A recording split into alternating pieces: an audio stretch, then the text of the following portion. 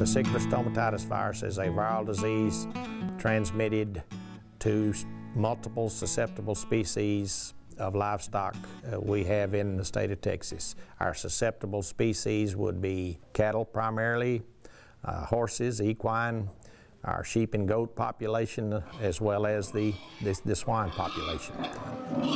Symptoms of our vesicular stomatitis VS virus would be uh, primarily oral lesions or vesicles, uh, which are small blister ulceration looking lesions in the mouth, uh, on the lips, in the oral mucosal area. We will see these lesions also on the uh, udder area, uh, the preputial area, as well as around the coronary band, which is uh, the ring or the, the region around above where the hoof would join our, our leg.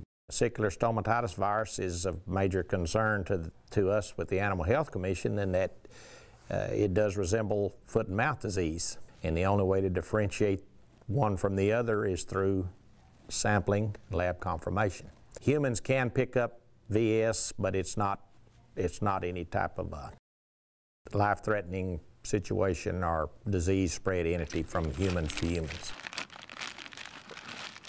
Biosecurity is something that's very important in foreign animal disease investigations and upon arrival at the premises we, with contact with the owners, biosecurity PPE, personal protection equipment is put in place.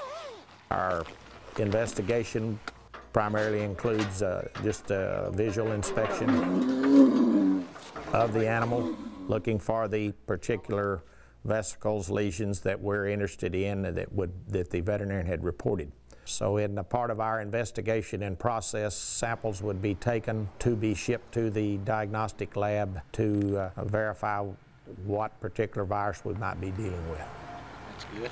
In the process of our investigation, of course, all detailed information, history, background on movement, uh, when the animals might have come in, come out. At, the, at this time, with we, we assume and suspect this vesicular stomatitis, a hold order would be placed on the premise with all livestock uh, on that premise uh, and to restrict movement, movement on these animals until we can verify with lab confirmation whether we actually have the, the, the disease itself. So at the time the results would come back from the laboratory with a positive diagnosis for VS, vesicular stomatitis, the hold order would be changed to a quarantine. It's also transmitted uh, uh, by human contamination. If you're handling one of these animals and you pick it up on yourself, you can pick this up and move it around without the parasite uh, being involved. Also, uh, uh, your livestock equipment, your halters, your bits and things that you would be using. You pick this virus up on, on that equipment just like any other viral infection you might have.